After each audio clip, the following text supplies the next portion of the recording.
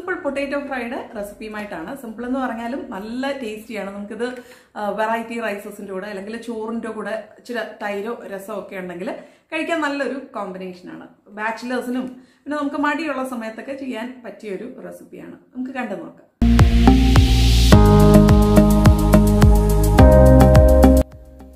Potato fry ഉണ്ടാക്കാൻ വേണ്ടിയിട്ട് മെയിനായിട്ട് രണ്ട് ഇൻഗ്രീഡിയൻസ് ആണ് വേണ്ടത്. ഉരുളക്കിഴങ്ങും വെളുത്തുള്ളി. അപ്പോൾ ഉരുളക്കിഴങ്ങ് ഞാൻ നീളത്തിൽ അരിഞ്ഞ് വെള്ളത്തിൽ ഇട്ട് വെച്ചിട്ടുണ്ട്. കളർ മാറാതിരിക്കാനും സ്റ്റാർച്ചൊക്കെ ഒന്ന് പോകാൻ വേണ്ടിയിട്ട്. നമുക്ക് വേണമെങ്കിൽ ചെറിയ സ്ക്വയർ പീസസ് ആയിട്ട് കട്ട് ചെയ്യാം. അല്ലെങ്കിൽ റൗണ്ടിൽ കട്ട് ചെയ്യണമെങ്കിൽ അങ്ങനെയും ചെയ്യാം. പക്ഷെ നമ്മൾ ഇതുപോലെ കട്ട് ചെയ്യുമ്പം ഫ്രഞ്ച് ഫ്രൈസിന്റെ ഒക്കെ ഒരു ഷേപ്പ് ആയതുകൊണ്ട് കുട്ടികളൊന്നുകൂടെ അട്രാക്റ്റഡ് ആവും. പിന്നെ നമുക്ക് വെളുത്തുള്ളി. വെളുത്തുള്ളി ഒരു ആറല്ലി വെളുത്തുള്ളി ഞാനൊന്ന് ലൈറ്റായിട്ട് ക്രഷ് ചെയ്ത് എടുത്തിട്ടുണ്ട്. കല്ലയിലൊന്ന് ലൈറ്റായിട്ട് ഇടിച്ചെടുക്കുക കേട്ടോ. പിന്നെ നമുക്കിത് ഉണ്ടാക്കി തുടങ്ങാം. ആദ്യം ഒരു പാൻ ഹീറ്റ് ചെയ്യുക. അപ്പോൾ ഇത് ഉണ്ടാക്കാനായിട്ട് കുറച്ച് വൈഡായിട്ടുള്ളൊരു പാൻ എടുക്കുക. നോൺ സ്റ്റിക്കോ അല്ലെങ്കിൽ ഒരു കടായി അടികട്ടിയുള്ളൊരു കടായി എടുക്കുക. ചൂടാകുമ്പോൾ അതിലേക്ക് ഒരു മൂന്ന് ടേബിൾ സ്പൂൺ ഓയിൽ ഒഴിച്ചു കൊടുക്കാം എണ്ണയൊന്ന് ചൂടാകുമ്പോൾ അതിലേക്ക് ഒരു മുക്കാൽ ടീസ്പൂൺ കടുക് ഇട്ട് കൊടുക്കാം. നമുക്ക് വെളിച്ചെണ്ണയോ മറ്റേത് ഓയിലും ഉപയോഗിക്കാം. ഇപ്പോൾ കടുക് ഒന്ന് പൊട്ടി തുടങ്ങുമ്പോൾ നമുക്കതിലേക്ക് ഒരു മുക്കാൽ ടീസ്പൂൺ ഉഴുന്ന് ചേർക്കാം. അതുപോലെ ഒരു മുക്കാൽ ടീസ്പൂൺ ക്യുമൻ സീഡ്സ് ചെറിയ ജീരകം ഇട്ട് കൊടുക്കാം. ചെറിയ ജീരകത്തിന്റെ ഒക്കെ ഫ്ലേവർ വരുമ്പോൾ പൊട്ടാറ്റോ ഫ്രൈഡ് രുചി ഒന്നുകൂടെ കൂടും. നല്ല ടേസ്റ്റ് ആയിരിക്കും.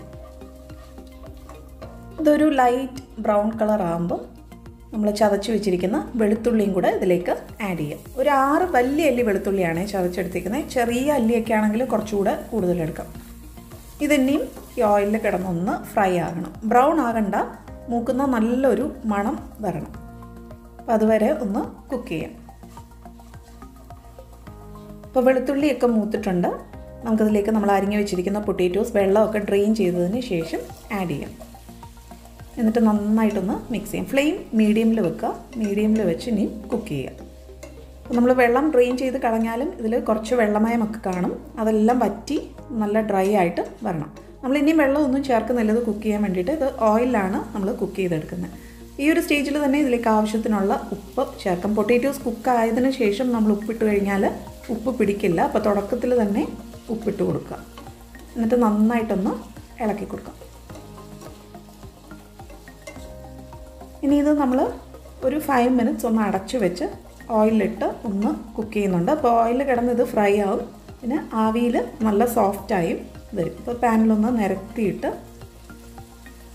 ഒരു മീഡിയം ഫ്ലെയിമിലിട്ട് തന്നെ നമുക്കിതൊന്ന് കുക്ക് ചെയ്തെടുക്കാം. അടച്ചു വെക്കാം. ഒരു ഫൈവ് മിനിറ്റ്സ് ഞാനത് അടച്ച് കുക്ക് ചെയ്തിട്ടുണ്ട്. ആവിയിൽ പൊട്ടേറ്റോസ് ഒക്കെ വെന്ത് നല്ല സോഫ്റ്റായി ഓവർ കുക്ക് ആകരുത് വെന്തങ്ങ് ഉടഞ്ഞു പോകരുത്. അതുപോലെ ഓയിലിൽ ഇതൊന്ന് ഫ്രൈ ആയിട്ടുണ്ട്. ഒന്ന് റോസ്റ്റായി വന്നിട്ടുണ്ട്. നമ്മൾ സൈഡ്സ് ഒക്കെ നോക്കുകയാണെങ്കിൽ ഒരു ചെറിയൊരു ലൈറ്റ് ബ്രൗൺ കളർ ആയിട്ടുണ്ട്.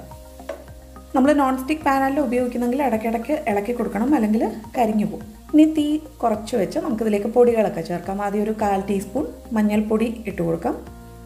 ഇനി നല്ലൊരു കളർ കിട്ടാൻ വേണ്ടിയിട്ട് ഞാനൊരു ഒന്നര ടീസ്പൂൺ കാശ്മീരി റെഡ് ചില്ലി പൗഡറാണ് ഇട്ട് കൊടുക്കുന്നത്.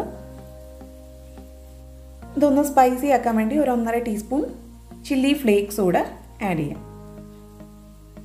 പിന്നെ കുറച്ച് കറിവേപ്പിലയും കൂടെ ഇട്ട് കൊടുത്ത് നന്നായിട്ടൊന്ന് മിക്സ് ചെയ്തെടുക്കുക ഈ പൊട്ടാറ്റോ പീസസിൽ മസാലയൊക്കെ ഒന്ന് കൂട്ടാകണം ഫ്ലെയിം സിമ്മിൽ വെക്കുക. ഇനിയും തീ കൂട്ടി വെക്കരുത്. കൂട്ടി വെച്ച് കഴിഞ്ഞാൽ ഈ പൊടികളൊക്കെ അങ്ങ് കരിഞ്ഞു പോകും. അപ്പോൾ തീ കുറച്ച് വെച്ച് നന്നായിട്ടൊന്ന് മിക്സ് ചെയ്തെടുക്കുക പൊടികളുടെയൊക്കെ ഒരു പച്ച ടേസ്റ്റ് പോകണം നന്നായിട്ട് കുക്കായി അതുപോലെ പൊട്ടേറ്റോ ഒന്നുകൂടെ ഫ്രൈ ആയി നല്ല ക്രിസ്പി ആയിട്ട് വരണം. ഒരു ഫൈവ് ടു സിക്സ് മിനിറ്റ്സ് നമുക്ക് ഇനി ഇത് ഓപ്പൺ കുക്കിംഗ് ചെയ്യാം. ഞാൻ കുറച്ച് ചില്ലി ഫ്ലേക്സ് കൂടി ഇട്ട് കൊടുത്തിട്ടുണ്ട്.